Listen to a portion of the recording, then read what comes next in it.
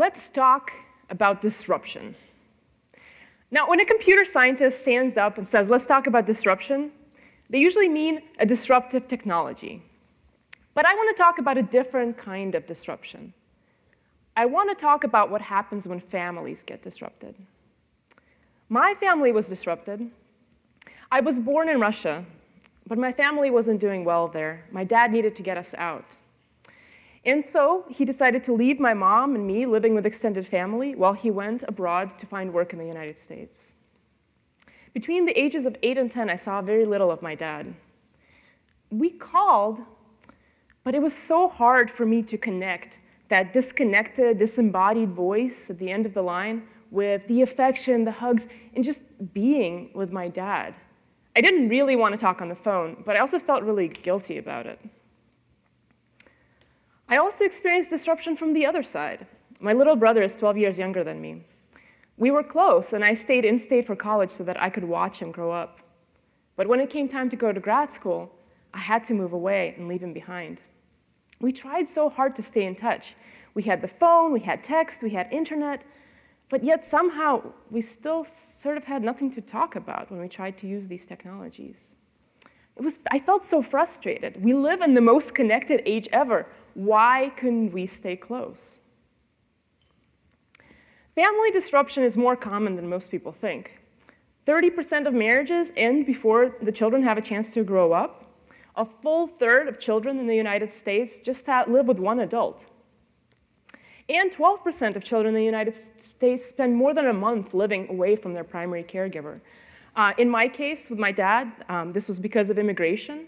But there are at least two other very common reasons in the United States, and those include incarceration and military deployment. And even if none of the above apply, it's becoming more and more common for extended families to live hundreds of miles apart, as was the case with my brother and me. Now, I guarantee you that even if your family has never been disrupted by distance, somebody sitting next to you has. And now one would think that technology should be able to help, but as I looked into it, I found that lots of families were having experiences similar to mine. They thought that communication technology was inauthentic. It wasn't really a deep communication, and it was kind of boring. So if you read about technology, you know that I'm maybe not the first one to think that technology is not actually delivering on this promise of connecting us. There are countless articles, studies, videos, and books about just this topic. There are so many ways to get it wrong. I wanted to do better. There are lots of ways that communication technology can go wrong, but this is one story of what it took to get it right. The first step to getting it right was starting with real people's stories and experiences, using the other instead of the I, rather than guessing at what the technology needed to do. So I started by interviewing people. I talked, I spent hours talking to 24 families where parents and children lived apart. I talked to kids between the ages of 7 and 14, and we didn't just talk, I also asked them to draw. I asked them to draw a magical solution to the hardest part of staying in touch with their parents. But first, let me start by telling you something that every single parent said about talking on the phone. They described an almost identical conversation. So we get on the telephone. Hi, son. How are you? Good. What'd you do today? Good. Oh God, hearing good in response to what you do today, that's even worse than nothing, or I don't know. Uh, he's not even listening to the question. And it's, it's clear why. When I asked the kids about conversations like this, they said, this is boring for both of us.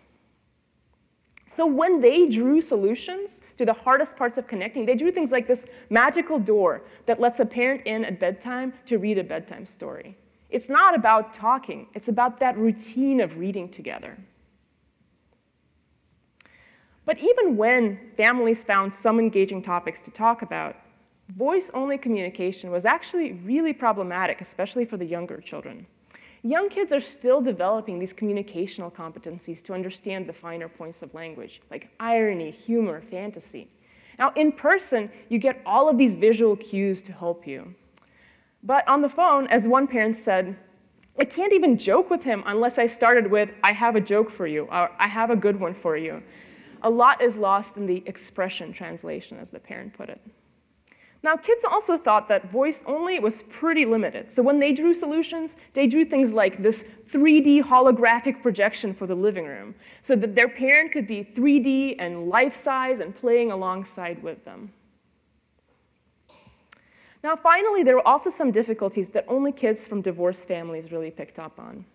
They were actually real, really aware of the competition between their parents over their time and affection honestly, even if the parents really tried to hide it. One of the kids said that the hardest part about calling his dad was that when he asked to call his dad, his mom uses that voice, we all know that voice, uh, saying, oh, so you're calling him? And that's hard. So kids do things like this robot, something that could carry secret messages and keep contact with one parent as private from the other parent as possible to reduce that tension between their parents. So the bottom line here is not that we need to build robots or magic doors, but rather what I see as the three main design insights from all of these conversations. First, visual communication is critical, especially for young children. Second, for parents and children, their connection is not about talking to each other. It's about doing things together. Talking is boring. And lastly, kids really need to, to, be empowered to initiate conversation because it's so uncomfortable and awkward to go to their dad and ask them to connect with their mom or vice versa. That tension needed to be reduced. So that our second step was actually taking these ideas and trying to design something new, really thinking out of the box. And when I say out of the box, I mean thinking broadly about the kinds of technologies and the kinds of solutions that we consider. I really think that it's a mistake to just start and ask, okay, well, what kind of an app should we build to fix this? Or what kind of a website should we design? It really constrains us to old ways of thinking when we really need something new. And so my team thought broadly. Okay, what if the thing that connects parents and kids is something that they wear? Or what if it's a bracelet or a toy or a series of toys? Or what if it's a tent? We went through several rounds of sketching and getting feedback from families, and we decided to go with a piece of furniture. We call it the share table system. And here's how it works. So when my table rings, to answer it, all I do is open this set of cabinet doors. Now this starts the video chat so we can see and hear each other, but it also does something else. It turns on a camera and a projector above my table. It captures anything that's happening on one table, sends it to the other table, and projects it on top, and vice versa. So what you're seeing here is us drawing a picture together with just dry erase markers on the surface of the table. Now, one thing about this system is that it doesn't have any buttons, it doesn't have a keyboard, it doesn't have a mouse, it doesn't have any of that. So it doesn't really feel like a technology. It's, it's basically a table with some magic. Now, the idea sounds really simple, but it actually lets you do a surprising variety of things. So let's say you got a worksheet at school and you want help with it, just put it on the table. You want to read a book together? Put it on the table. We can both see it, and we can both see where we're pointing on the book or the worksheet. Uh, you want to have a tea party? Grab some cups from the kitchen. You want to play a board game? As long as it's a board game uh, where we can find something to use as dice on two sides and some tokens, we can play together. While the idea is quite simple, the execution ended up being much more complicated than just building a program, though. So first of all, we needed resources like hardware. And to get those resources, we needed to show that this idea could potentially maybe work. And the first version of the system was built with borrowed computers, borrowed projectors, borrowed camcorders that are literally held onto the ceiling with tape and fishing wire. We are lucky that nobody died. but it worked well enough to help us get the buy-in and the resources to start actually building the real prototype, the real furniture. Now, I had to learn some things that I did not think were in the purview of a computer scientist. So I had to learn how to make these custom door sensors. I had to learn carpentry. I used a lot of power tools. It was actually pretty cool.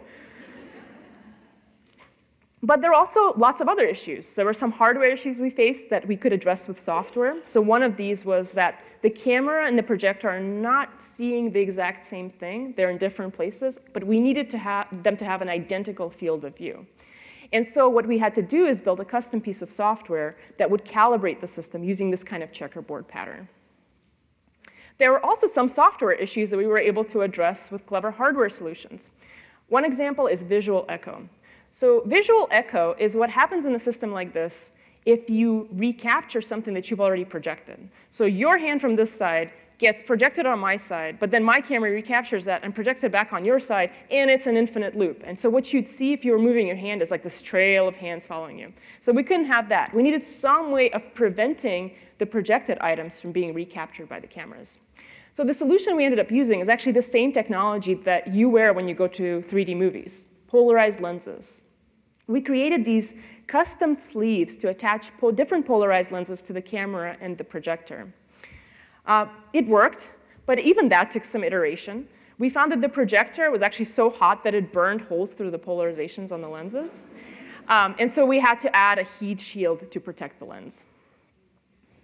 So all in all, there were many issues beyond just writing code.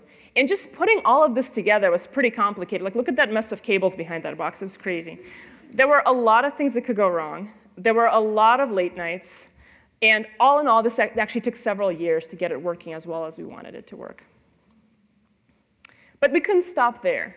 It doesn't really matter if it works perfectly for us in the lab. What matters is whether it works for real families in the real world. So that was our next step. We recruited four divorced households, and we asked them to keep diaries of their communication practices. Then we left the share table with them for a month and asked them to use it. The system records video anytime a communication session is initiated. But of course, we also wanted to protect the privacy of our participants. So all the names you see are pseudonyms, all the faces will be blurred out, and actually the parents could mark any videos for deletion before we saw them, though that was pretty rare and mostly in cases where kids were a little bit too comfortable around nudity in the house and they didn't want us to see that. Uh, so we're thankful for that. Uh, so I want to focus on just one family for this talk. Let me tell you a little bit about them, and then I'll show you some of their videos. So let me explain their arrangement. So David and Kelly uh, were married, and they had two kids, Taylor, who was 11 at the time of the study, and Kennedy, who was 7. A few years before they met them, they actually got divorced. Kennedy lives primarily with her mom, while Taylor lives primarily with his dad. And they actually have this idea that the kids always spend the weekends together, so every other weekend, the kids switch houses. So basically, you can imagine this. So if you're a parent, every other Friday, you get your, the kid that lives with you, and you drive them over an hour through traffic, city traffic, to the other side of the city, where you drop them off, and then you do it and pick them up again on Sunday. It's pretty complicated. And also, of course, families are more likely to be blended. So Kelly actually had a new partner, Jason, who was also living with them in Kennedy. This sounds really complicated, but actually these kinds of arrangements, complex arrangements, are pretty common in divorced families. They do what they have to to make their family work. So um, let's watch two of their videos. Um, so the first one highlights a common issue with being a kid from a divorced family. So you have two homes, and all your stuff is divided between these two homes, including your mail. So in this case, the dad got a gaming magazine, and he really wanted to show it to Taylor uh, because it was kind of, the holidays were coming up, so it was a little time sensitive. I think he wanted to get a sense of which games to get us gifts. And in the meantime, Taylor's friend from mom's house is also there. So let's see what happens. Battlefield 3. Oh! That's it. Yeah. Do you have Modern Warfare 3 yet? Yes, sir. Why don't we ever see you online? I don't know. What's your gamer tag? You guys never added me. See, I don't have you guys. What's Mass Effect on? Here, here. I, hang on. Let me write on here, and I can write down my gamer tag. Wait, if you write on here, can he see it? Yeah. I told you, my son. South Park. Okay, here's my gamer tag. All right. So there's two things I like about this video. So first, um, it is how quickly kids get used to new technology. If I write on, you can see it. Yeah, of course. Why wouldn't he be able to? That's years of my life, teens of students.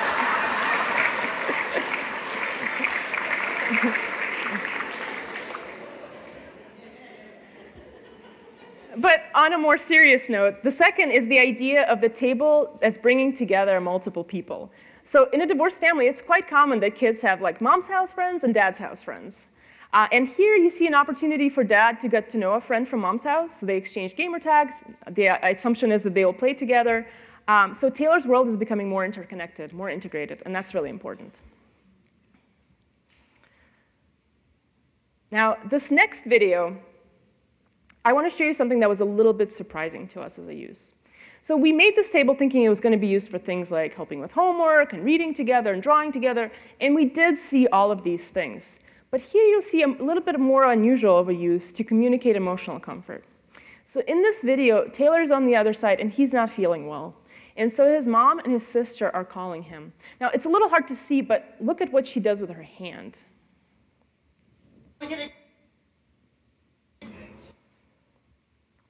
Ew.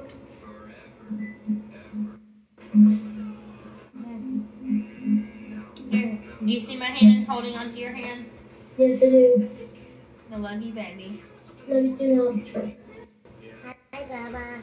Here's my hand. Yeah, keep your hands and then we're all gonna do a family handshake, okay?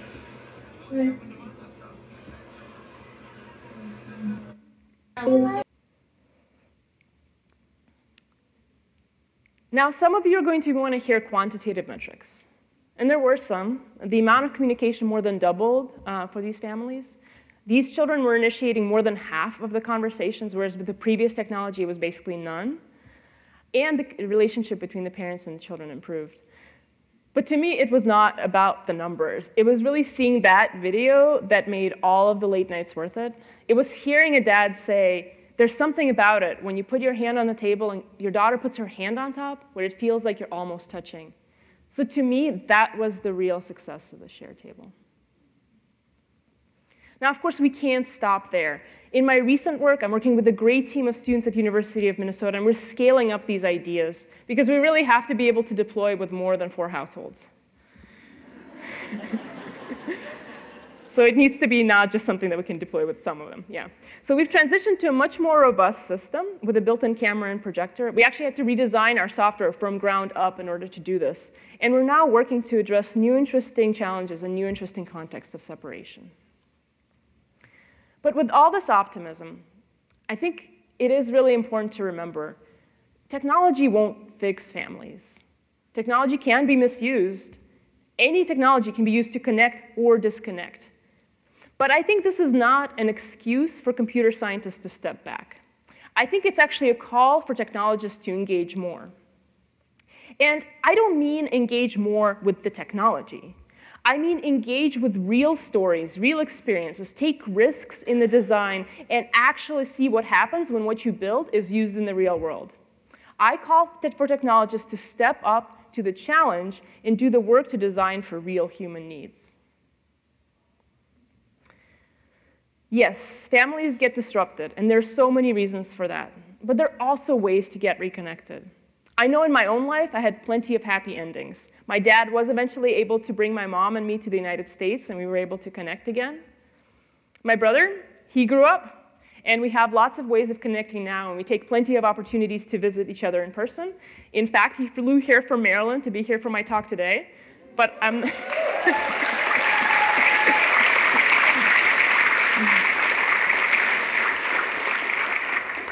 I'm not going to embarrass him by making him wave, but you'll probably see him at the after party. He's six foot four, so he's hard, hard to miss. but for other families, it may not be enough to wait until they're together in person. There need to be other tools and other ways of connecting and other ways of finding their happy endings.